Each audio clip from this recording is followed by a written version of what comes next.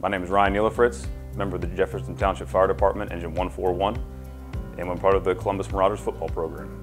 So the reason I wanted to become a firefighter was my father was uh, a firefighter, so he's been in there for 30 years, so watching him grow up throughout the fire service and really got me excited about uh, what I want to do with my career. Also, I grew up wanting to help people. Uh, the fact that I could do that with not knowing what the next day is going to bring me, uh, it not, wasn't just a desk job, so that was really what brought me into the fire service. Favorite memories as a firefighter was actually getting a chance to work with my father.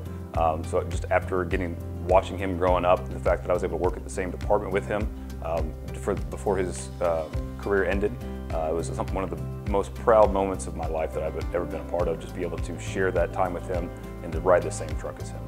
Well, I never got the chance to really play much uh, growing up, uh, so when I found this opportunity to, one, give back to my community with the program that we're with, the Columbus Marauders, and the opportunity to play football again, uh, something that I couldn't pass up.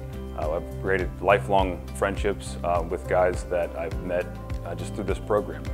we have great connect, connections throughout the entire country now because of the, the guys we play with from different parts of the, the, country or different parts of the state. we can call those guys anytime and have that great camaraderie, and it's really what's the reason that's drawn me back to this organization.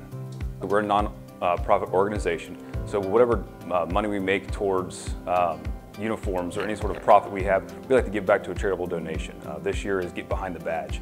Uh, what, what, they are about is they give back to uh, local police firemen, any full-time first responder, and give them any sort of assistance they need, whether it be emotional, financial, um, to the person, uh, the family that they lost in the line of duty. Favorite memories are the just the, the trips themselves. Um, the before the before the game activities, we're all getting ready to go, and then just kind of that the look in the eye of the guy across from you, we're about to go into battle with each other.